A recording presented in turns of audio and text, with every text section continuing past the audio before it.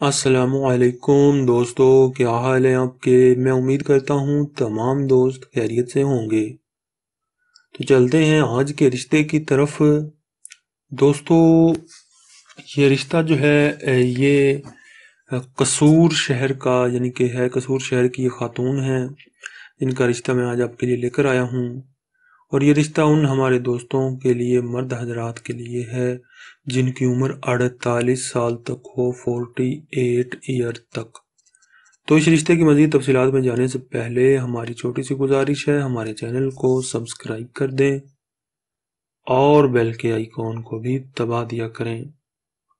दोस्तों, ये जो खातून है जिनका रिश्ता आज लेकर आया हूँ, इनकी उम्र है थर्टी फोर ईयर यानी कि चौंतीस साल, यानी कि एक ये ये एक यंग लड़की है, इतनी ज़्यादा उम्र नहीं है।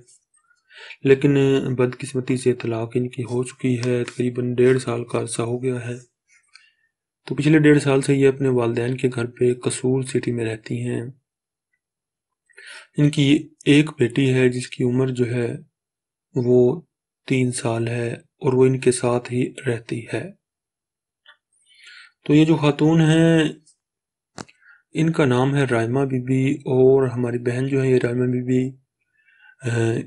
इनकी तालीम जो है बीए है, यानी कि ये चौदह जमात पास है।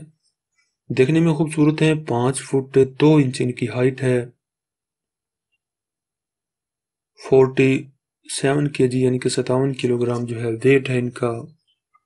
काफ़ी अच्छी फैमिली से हैं महजब घराने से इनका ताल्लुक है।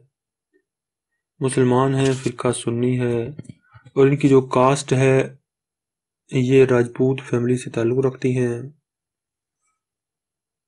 तो हमारे वो दोस्त मर्द हजरात इस रिश्ते के लिए रबता कर सकते हैं, जिनकी उम्र अड़तालीस साल तक हो और चाहते हों पहली या दूसरी शादी करना। लेकिन यहाँ एक बात जो मैं आपको बता दूँ, इसे ज़रा गौर से सुन लें कि वही लोग रबता करें।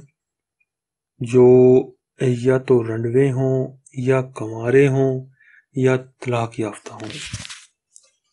यानी कि वो दोस्त भाई जो पहली बीवी के होते हुए दूसरी शादी करना चाहते हों, वो इस रिश्ते के लिए रबता ना करें।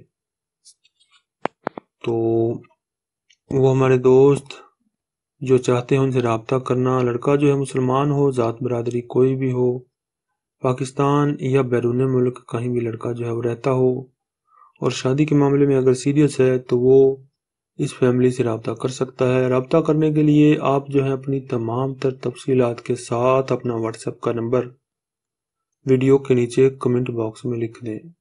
हम बहुत जल्द आपसे रबता कर लेंगे। अगर आपके नसीब में हुआ तो ये रिश्ता ज़रूर आपके लिए खुशियाँ लेकर आएगा। इसी के साथ हमें इजाज़त दें। अल्लाह हाफिज़।